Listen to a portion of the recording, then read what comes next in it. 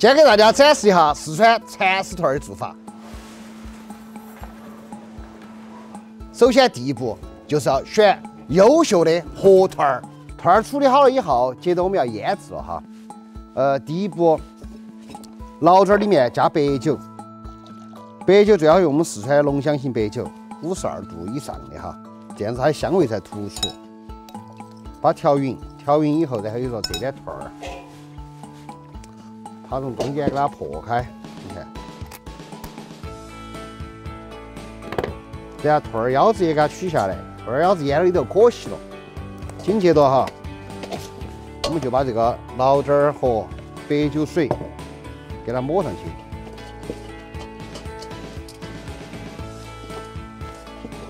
两面都给它抹。抹好了以后，紧接着就是说我们这个调料给它加下去。这个配方哈，我们加到视频的末尾。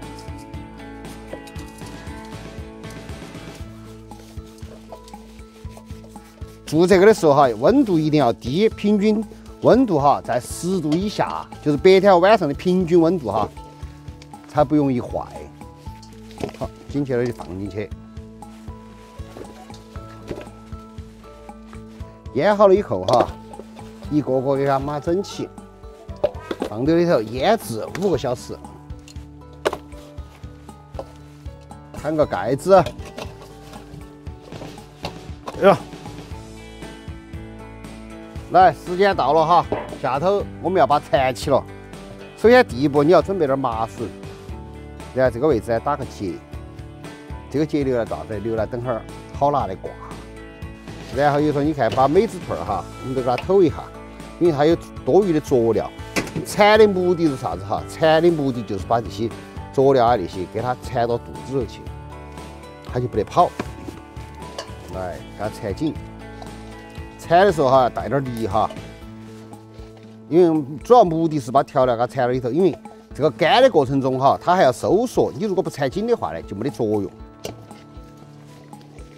这个肚子上这个位置是左右给它收起。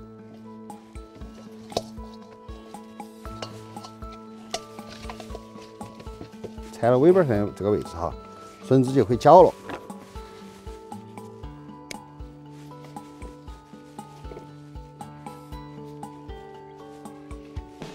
收进去，打个疙瘩就对了。好，然后就说我们再把它放到盆子里头。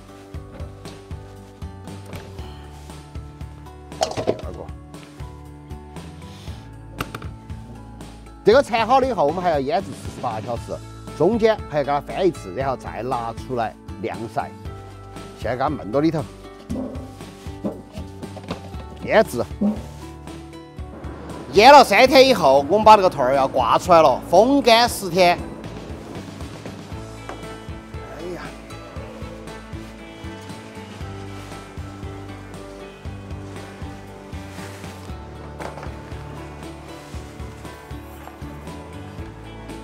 来，最后一个，接下来就把美味交给时间了。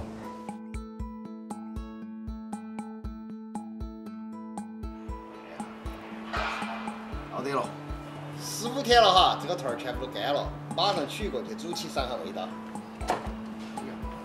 香。兔儿拿下来之后，绳圈给它改了，然后我们把兔儿从中间。开开，哇！你看，你看它中间哈，已经完全收干了。这个时候以后我们加了温水以后，把它洗一下，温水洗净，把表面，毕竟在外头挂了那么多天，